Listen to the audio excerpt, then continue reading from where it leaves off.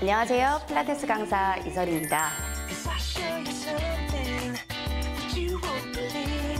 저번 시간에 이어 오늘도 힘없이 처진 엉덩이에 탄력을 만들어주는 힙업 운동 제2탄 레그 킥백 동작에 대해 배워보도록 하겠습니다.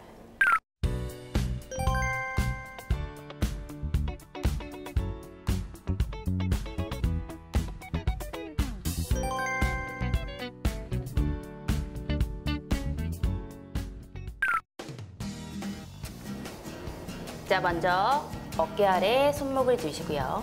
tabletop 포즈를 만들어 주시겠습니다. 자, 상체는 움직이지 않고 정면 한 곳 멀리 지정하셔서 그곳을 바라보시고요. 마시는 숨에 무릎을 접어 내쉬는 숨에 그대로 뻗어내겠습니다. 사선으로 차지 않게 주의하시면서 골반의 균형을 잘 맞춰주세요.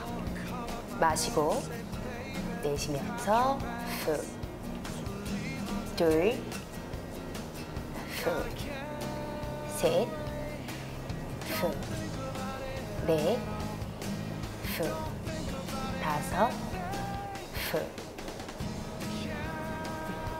그대로 팔꿈치를 접어 어깨 힘이 들어가지 않게 또는 허리에 과부하가 되지 않게 상체에 힘을 빼놓으시고 하체에 집중하겠습니다.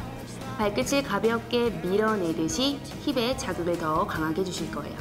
툭, 툭 건드리는 느낌으로 호흡과 함께 후, 후, 후, 후, 후, 후, 후, 후, 후, 후 마지막에는 정지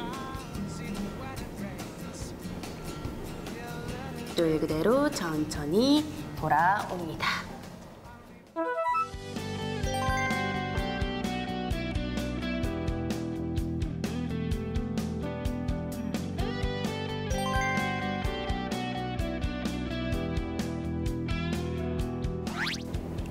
힙업 운동 제1탄과 2탄을 함께 병행하시면 훨씬 더 강력한 운동 효과를 느끼실 수 있습니다.